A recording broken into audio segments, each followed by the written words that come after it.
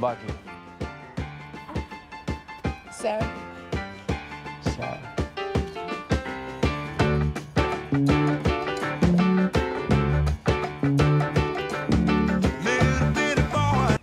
But don't flirt with my sister.